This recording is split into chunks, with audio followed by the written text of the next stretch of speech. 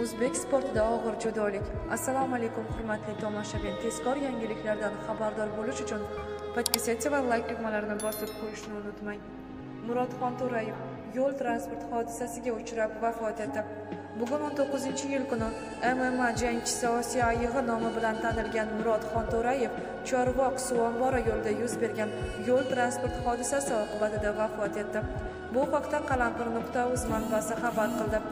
Mazkur yo'l transport hodisasi yuzasidan rasmiy idoralar hozircha ma'lumot bermadi. Voqeaga guvoh bo'lganlarning aytishicha marhum sportchi bmw rusumli avtomobilda katta tezlikda harakatlangan.